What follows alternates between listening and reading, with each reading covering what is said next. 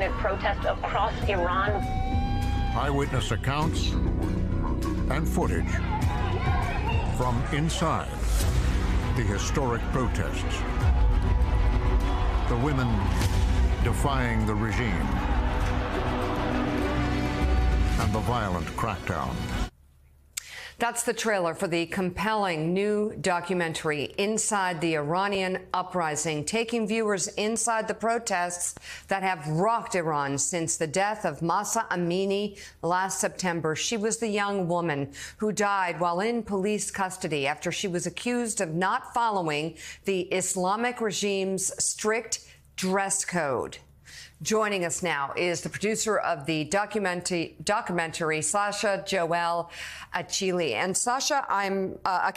I'm curious as to what we will be seeing in this documentary, um, especially about not just taking us inside these protests, but the changing attitudes of young people and what they're willing to live with. Yeah, so the extraordinary thing about what happened when the protests began was that, as you know, um, foreign media and independent journalists, uh, uh, it's it's very hard for, for them to operate inside Iran. And so when the protests started, uh, Iranian citizens began filming the uprising themselves and filming the violence that was taking place on the streets.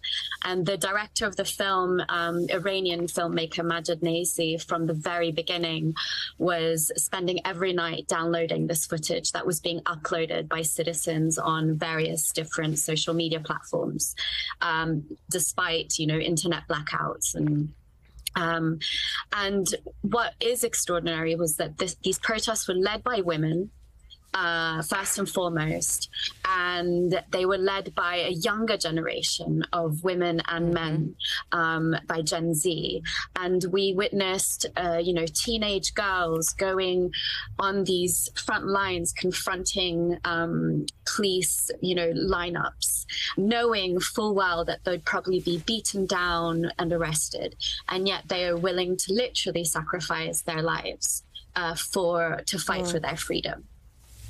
Sasha, we've seen since those protests uh, clamp down on the people who were protesting. There's been um, a big uptick in the number of people who have been hanged or executed who took part mm. in those protests. How much of a sense do you get of, of where those protests are today and what future they may have?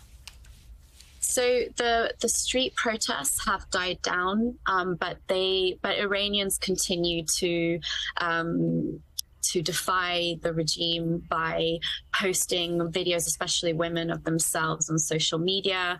Uh, Iranian women continue to go out without their hijabs, uh, and they continue to try and stand up for what they believe in. And there's, you know, many um, women I've spoken to say that things can never go back to how they were before Mahsa Amini uh, died. And so, although um, the, the street protests have died down, the violence has died down, they will continue fighting. And people are still facing death row. Um, we've had, you know, in June, another seven um, people have been sentenced to death. Uh, and and there are many more that are facing poten- the potential similar fate. Sasha, do the young Mike people in the streets protesting what is going on and has been going on for quite some time within Tehran and the rest of Iran, do they have any hope for the future based on demographics? They're young, largely. The ruling elite in Iran is largely very old. They they are saying that they're not going to leave. They're they're going to stay in Iran. They're not going to follow the previous generation who tried to leave to make a life for themselves. So they will not give up. They will not give up, and they will continue to fight for their freedom and for what they want.